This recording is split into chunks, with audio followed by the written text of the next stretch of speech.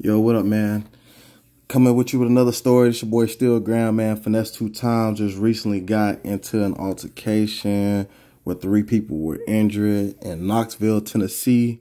You can see in this video clearly that Finesse is sitting down performing.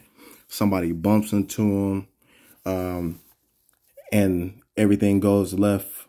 You know, we got JT Promotions in Tampa, Florida, who just recently didn't let Finesse in the club with all his weapons uh, just because they didn't want anything like this to happen. Uh, but the promoter at Cannabud said that Finesse and his team ran off with all the money. Uh, they got 60 people to pay for, um, and they're not getting paid.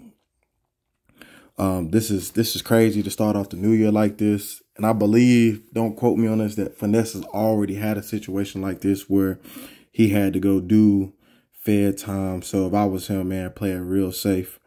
Uh, we definitely know the rap game is dangerous, but you know him being leader of his team, he definitely has to you know take control and take responsibility for what happens. Not saying that it's his fault, but he is the leader of his team. And I know they probably was just trying to protect him, but in this world, man, you got to learn how to tastefully do things, especially if you want to be a climbing artist. And you know, every time we get a good artist, you know, yeah, they be aggressive. Yes, yes, this. Yeah, you never know what's happening or, what the other person's intention is. We don't know the full story.